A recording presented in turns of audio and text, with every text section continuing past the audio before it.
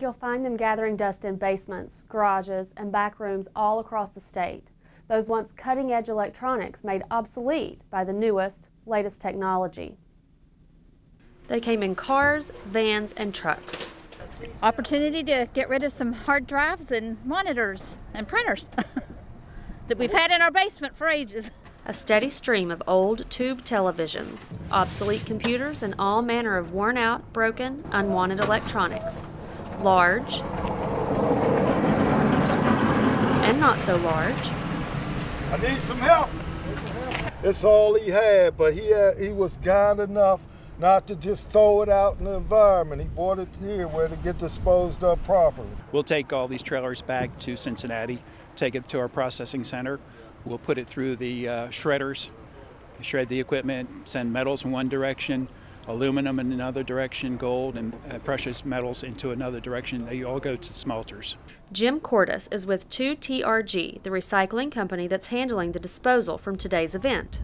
The monitors, we have to cut the glass, send leaded glass to a smelter that is uh, certified to process the lead in the glass.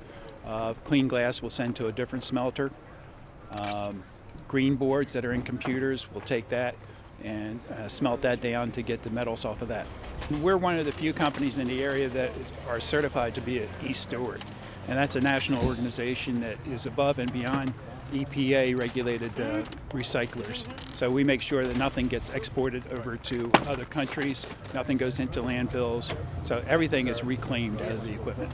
And that's important because these devices contain things like mercury, lead, and other hazardous materials things that, if not properly handled, could escape into the environment.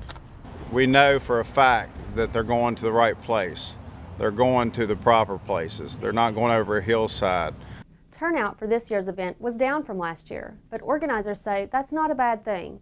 State law actually requires waste haulers to pick up televisions and computers and landfill operators to hold them until they can be hauled off by a qualified electronics recycler, although that sometimes involves a surcharge and organizers say many consumers are taking advantage of that.